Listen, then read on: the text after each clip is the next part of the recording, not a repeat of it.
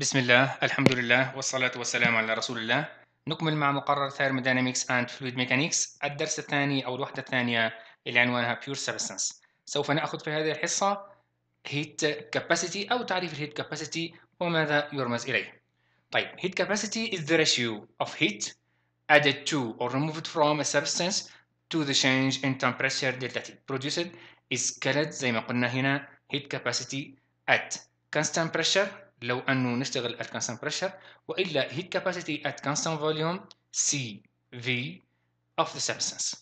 فهنا الهيت capacity نعيدها هنا هو يعني ريشيو حقة الحرارة Q المضافة أو المنزوعة من substance لتغيير درجة الحرارة delta T.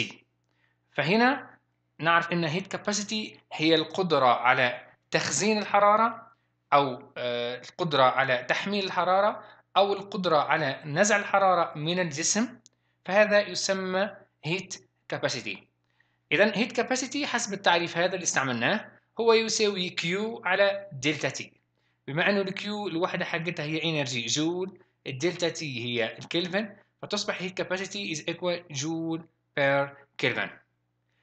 Specific heat التعريف اللي بعده specific heat at constant pressure هو إيش؟ بما إنه عندي هنا كلمة specific فهي تساوي heat capacity على إيش شباب؟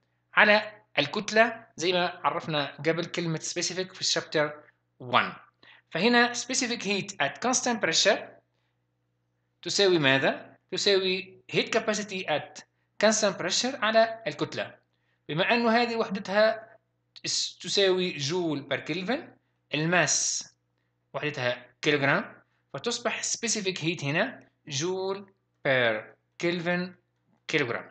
هنا فقط سي بي سي هذه هي سمول والسي هذه هي كابيتال لأنه هذا specific heat at constant pressure وهذا heat capacity at constant pressure. نفس الفكرة أيضا يمكن تطبيقها على specific heat at constant volume. هي تساوي heat capacity at constant volume على الكتلة. نفس المعلومة هنا نقدر نشوفها. هذه joule per kelvin ال mass بالكيلوغرام. فتصبح specific heat at constant volume تساوي joule per kilogram كلفن أيضا هنا يمكن specific heat at constant volume وإلا specific heat at constant pressure. يمكن استخلاصهم أيضا باستعمال المعادلات.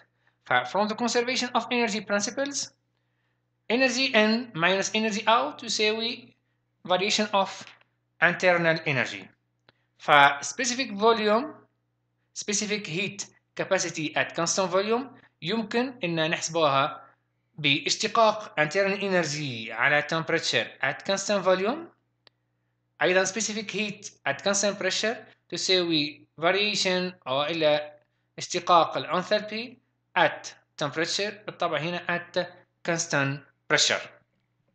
فهنا لو سألت من هو عنده قدرة أكثر على تخزين الحرارة أو فقدان الحرارة؟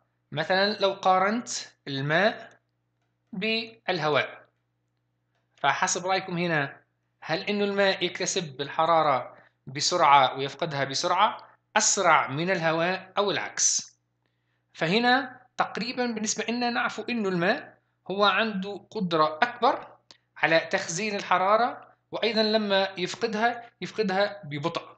فيكسب الحرارة الماء ببطء ويفقدها ببطء عكس الهواء اللي يمكن يسخن بسرعة كبيرة ولكن يفقد الحرارة أيضا بسرعة كبيرة. فهنا specific heat شباب حسب رأيكم. specific heat حقة الماء أو الهواء هي الأكبر نترك السؤال هذا إلى الحصة القادمة إن شاء الله. السلام عليكم ورحمة الله وبركاته.